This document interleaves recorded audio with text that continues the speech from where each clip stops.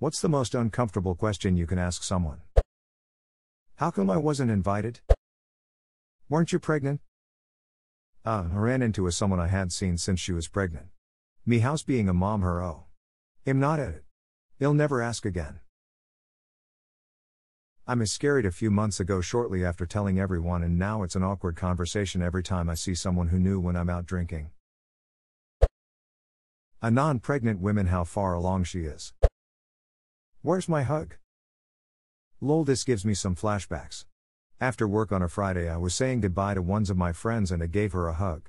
Here comes Brett, hey, where's my hug? So I give him the biggest bear hug, the kind that traps their arms at their sides, and picked him up off the ground. There's your hug, Brett. My friend said he didn't ask much after that, but you bet your balls I'd tell Brett, hey Brett, I got your hug right here, buddy, with outstretched arms. He would give me an uncomfortable look like you gross. Yeah, Brett, that's how you're making everyone feel. As a woman, I very much appreciate this response. Why does everyone hate you so much? I hate this one so much. I lived in a small town, so everybody knew everybody. High school was rough, I didn't know how to stick up for myself and soon became the scapegoat for bullies and rumors. Once our SR year hit, people matured a little and started being nicer to me. I made a lot of friends suddenly, and all of them would ask, Why does everybody hate you? You're not like they say. It was awkward because most of those people were the ones contributing to the rumors bullying. I don't know. Why did you? Gods, I wish I could go back in time and ask a few people that. If you come in the back office with me right now, just you and me, are you gonna be cool about it, or be a snitch? Asked by my old boss at a grocery store, he just was offering me shots off Fireball because it was almost closing time on New Year's Eve, but that phrasing sounded kinda fishy. Sounded super fishy. I'm not sure if it counts. But if someone asks you, hey, can you move over a seat so I can be next to my friend? Especially if you thought the person asking you was your friend. Along the same lines, when at parties with friends, I was always asked to take pictures of people, but no one ever asked to be in a pic with me. It stung. Okay, I have this issue. Friends always post pictures on Instagram at football games, parties, etc., so I know they take pictures. But whenever I'm with them, no one ever offers to take pictures with me. And so I feel like I have to force people to begrudgingly take pictures with me. And usually I suggest we get a picture and people act like they forget. Once at a party, everyone was taking pics. This girl specifically, who I was friends with although not that close, was taking pictures with everyone. Someone pulled a phone around the time she was next to me and asked us to smile for a pic, which I did.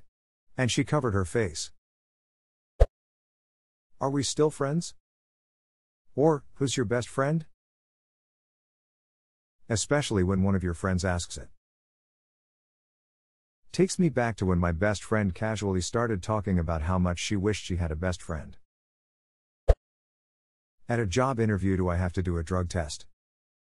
You do now.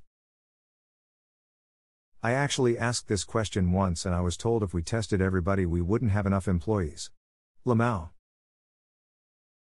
Circa 2005, but not my story personally. This is paraphrased heavily from years of interview WTFS conversations. Dude, this is Silicon Valley.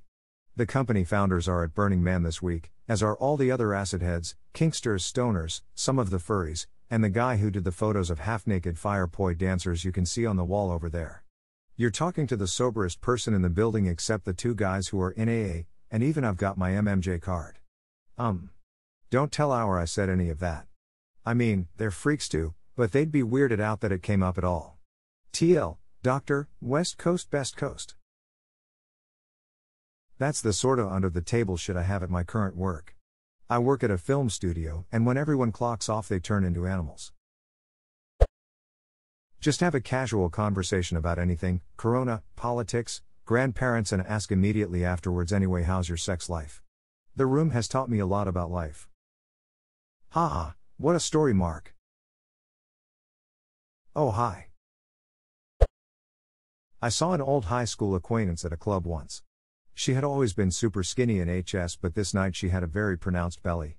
I assumed since she had always been skinny and only had grown in her belly that she was pregnant. She was not. Editing this after my BF insisted that I tell the whole story.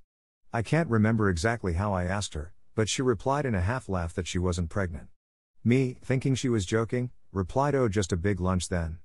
While patting her stomach. Then I laughed and walked away.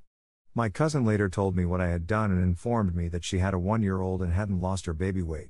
I will never do that again. As a male, I operate under a policy that the only time that you can ask a woman if she's pregnant is if she is in active labor and the baby is crowning, and even then you must exclaim surprise that you had no idea. That is a really excellent policy. The one time, the one time I asked, it was so ducking obvious that she was pregnant, skinny all over, huge pregnancy belly. But she wasn't. Doctor, in front of parents, are you sexually active? Now that's when you start bragging, haha. Your dad fist bumps you when your mom isn't looking. Is it in yet? I was starting in 4 on a patient. She said something like, I was going to ask you if it was in yet, I didn't even feel it. I wanted to say something like, normally this is the worst thing for a man to hear so bad. But you know, professionalism. You'll feel a little prick. TF2, Achievement Unlocked. Have you seen our toothbrush? Did you bathe properly today? This is a conversation I had to have with a coworker once. His smell was very distracting for everyone in the office. Guy's wife had died and he just sort of stopped taking care of himself afterward. A couple of us got him set up with a therapist. He left the company shortly after for a less stressful job, but I saw on FB a while later the guy is doing much better. Good to hear he is doing good now. Are you uncomfortable? If they say no, then you should reply with, Do you want me to make you uncomfortable? While unbuckling your belt. Then, when they panic and say no, you take off your belt and put a new one on. Depends on the person. For a lot of women, it's so when are you guys going to have a baby? I literally had to tell my mill that we're trying and that we haven't used protection for some time now. Embarrassed her enough to back off the topic forever, she's very old school. I've been ejaculating massive loads of semen into your daughter's vagina for several months now. The way to combat an awkward question is to provide an even more awkward answer. Best of luck to you too, by the way, edit. Please don't follow this advice. It's a dumb joke on the internet and you risk ruining your relationships with loved ones if you actually follow my suggestion. Don't do that. If you make it awkward enough, nobody is going to ask questions. Not necessarily. If your mill is a psychopath like mine, she'll probably laugh it off and then later take offense, call your wife and yell at her at the top of her lungs for two solid hours how offensive that was and how I should be ashamed and how horrible of a person I am for attacking her like that unprovoked, and expecting me to apologize. Then, after two weeks of this, She'll call your parents yelling at them how disrespectful and shameful you are and that they should force you to undergo clinically assisted pregnancy. Two more weeks and she'll be yelling at your wife again, telling her she's going to sell the house and move to Australia because everybody hates her. Then she'll swear she's going to break your windows if you don't pick up the phone. Then you call her and she'll not pick up. Then you meet her in person and she's like, Sup, how's the baby coming along? Broadly specific. Why are you so quiet? What do you think of me? Whenever someone says this to me, I'm always so puzzled and awkward about the whole thing. What do you want me to say? What do you want me to say? Well, there's the divide.